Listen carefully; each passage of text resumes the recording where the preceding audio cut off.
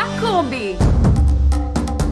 Manaus é a capital brasileira com a maior taxa de desemprego. Mas o governo Wilson Lima e o prefeito que aí está não fazem nada.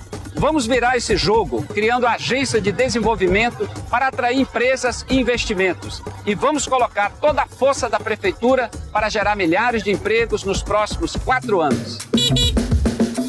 Zé Ricardo e eu vamos fazer creche nos bairros. E as trabalhadoras e trabalhadores aqui do distrito também vão poder deixar suas crianças em uma creche perto de casa.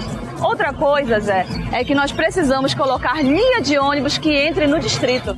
O prefeito de Manaus tem cadeira no Conselho da Suframa e eu vou lá defender o seu emprego.